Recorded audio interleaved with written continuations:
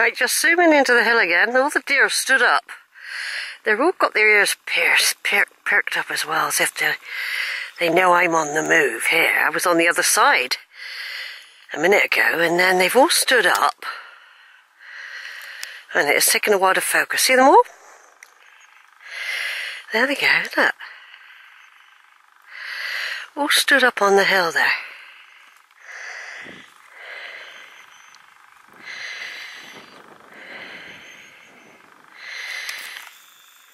Sure, it's, it's that, it's beautifully warm.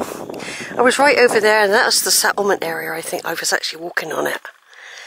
That's the settlement, it's almost like a mini hill fort, isn't it?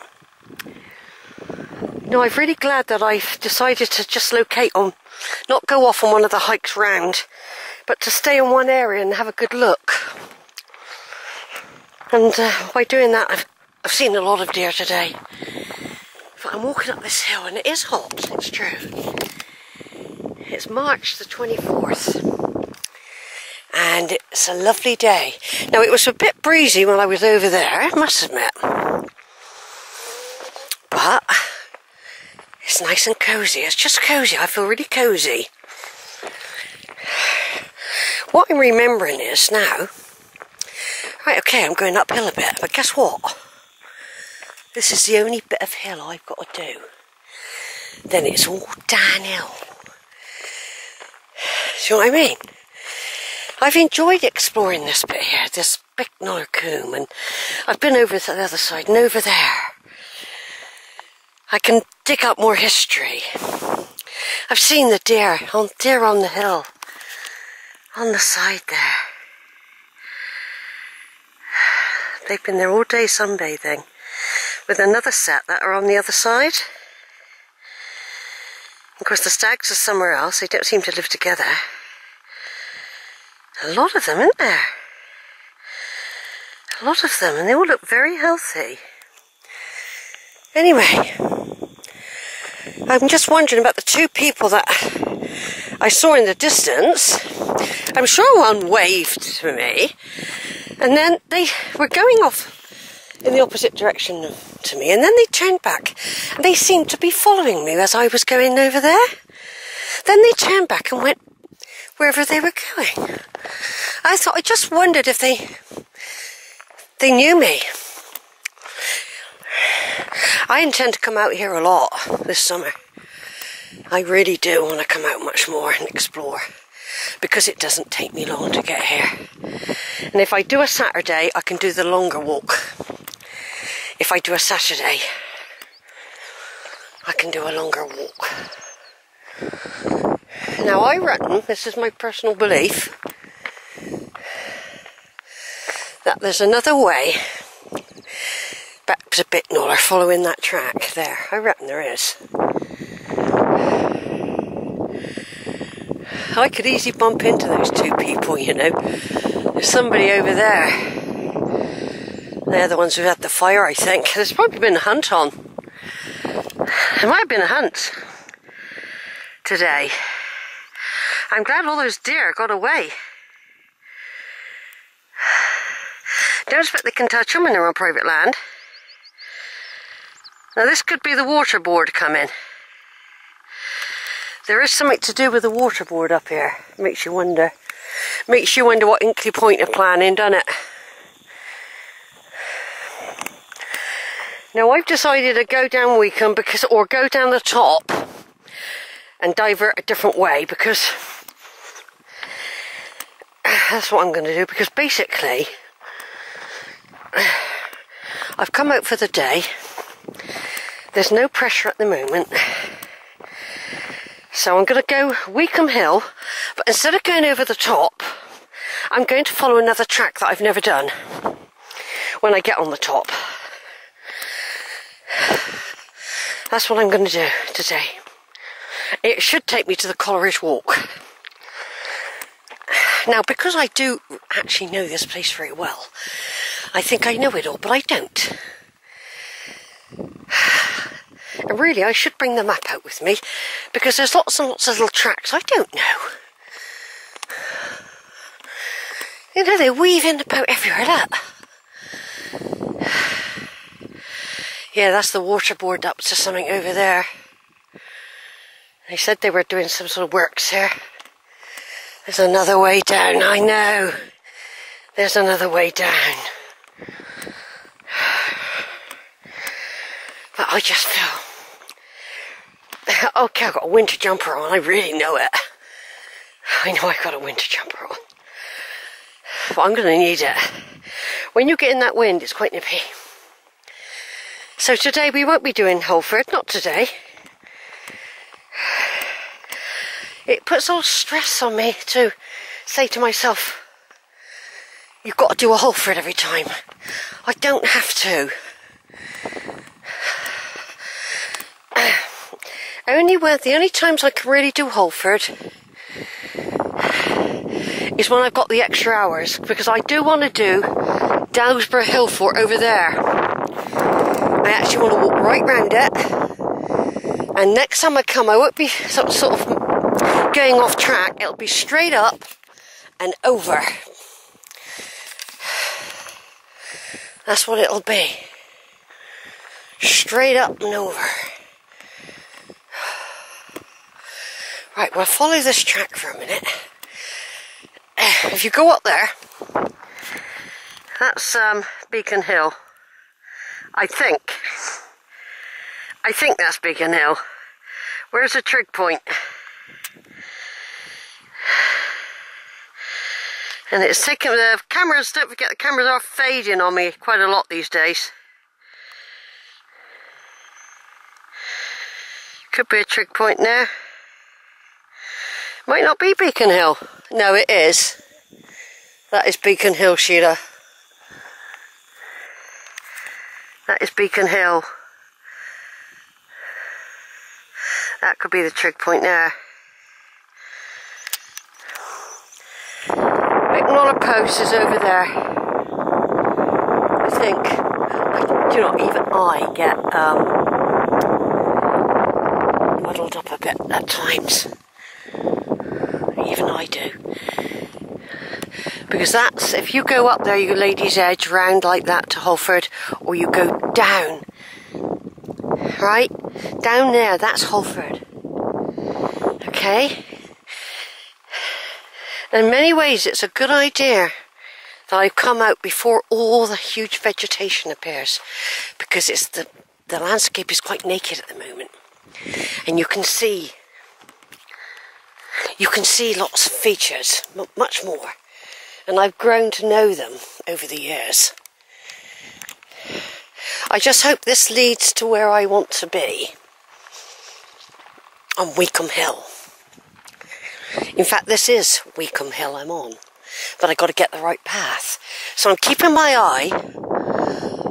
I can't see Bicknoller Post yet, but it should be sort of round there where all those paths are meeting. Bicknoller Post. But in theory, this path should link up with a path coming from Bicknoller for me. I mean, I've done all the paths right the way round. I've been up and I've been down. I've been over and round. And I love every single bit of it. Love it. Now, it could be yeah, there's Watchet over there. I remember when Georgia was at a concert. Weacombe Coombe is down. What I'm doing today, there's Bicknoller Post. Where is it? Where is it? There's Bicknoller Post there, look. That's Bicknoller Post.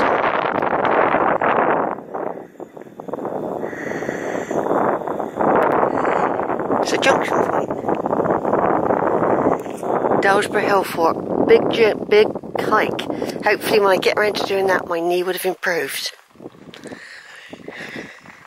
I do feel as though I haven't been on a like a big hike, but I've been exploring different areas, and it all takes time. It'll be nearly two o'clock now. I don't like getting home too late, but I'm enjoying being out. I really am being out in the sunshine. So this is where I'm walking now.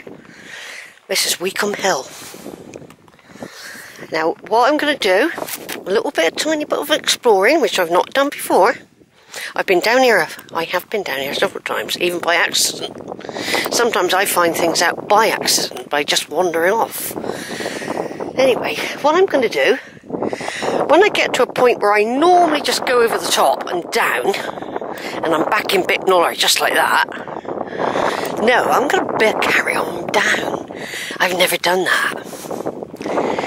Now, not far away from me on this hill, because I was right over there. A minute ago, hour or so ago, or less, I'm zooming into a tree. See that tree there? I was right by that tree and I've even taken a picture of it when I was over there. I was right over there and see those clumps? I was over there. It didn't take long. The big trees I, I went in earlier today. You can move around this landscape before, like if I suddenly said, right, I'm going to do the trig point, I'd be up there and I'd be looking over here. God, you're over there, Sheila, already.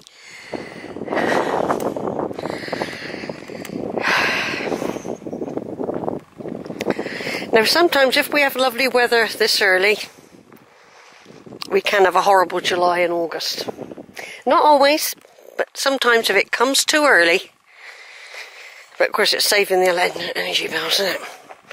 The reason I think, to be quite honest, why the energy companies are whacking everything up is because of global warming. It's global warming.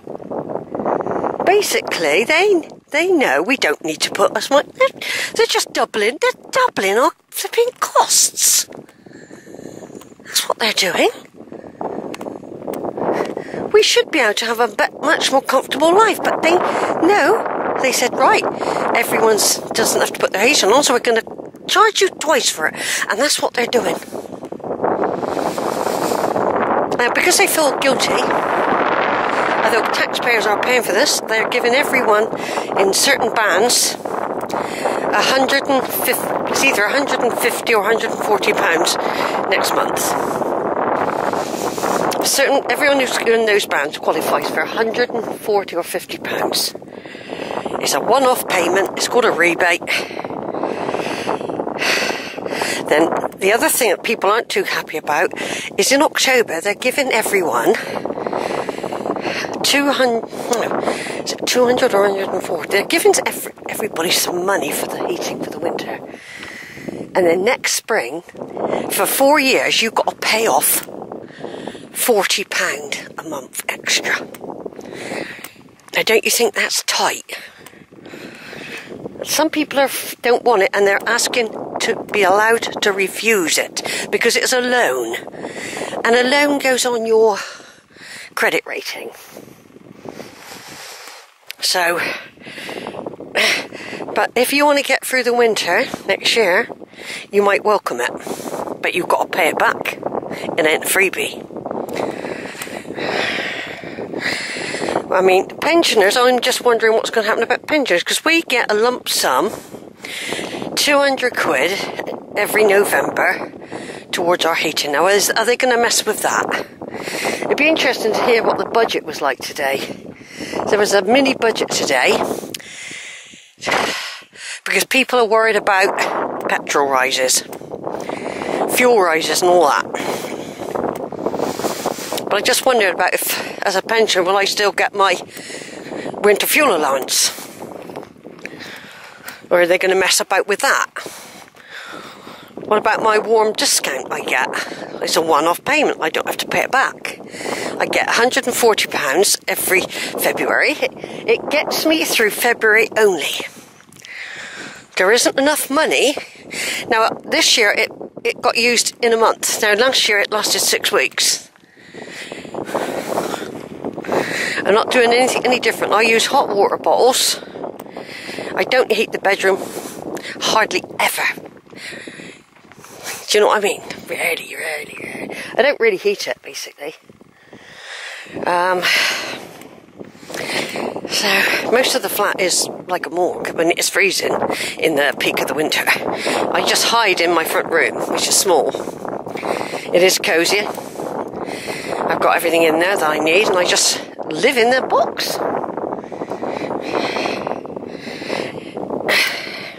And I won't put heating on till the end of October. I won't even touch the heating. And I try to get it, I try to last as long as I can into November before I put any heating on. I will use hot water bottles. Start with, when I'm at my desk, I use hot water bottles. And then, if it is very cold in November, I will put on the small heater. Little tiny heater, it just takes the edge off. So I don't like my knees getting cold. After that, I'm still strict and will not have the heating on all day apart from special occasions like Christmas. And when it is really freezing, I will put it on. I'll hang out as long as I can and then I'll put it on. And sometimes I will leave it on all day. But I don't know if that we'll be able to do that for the future because everything's doubling. At the moment, I can manage that. I've been managing. A lot of money, though, every week goes in. Every week it can be 30, easily £30 a week. I'm not heating a three bedroom home or anything, I'm heating a small flat, one room. I'm very thrifty with hot water. I don't have hot water. When I wash up, I heat up a big um, stewing pot of hot water. And I have, I'm very.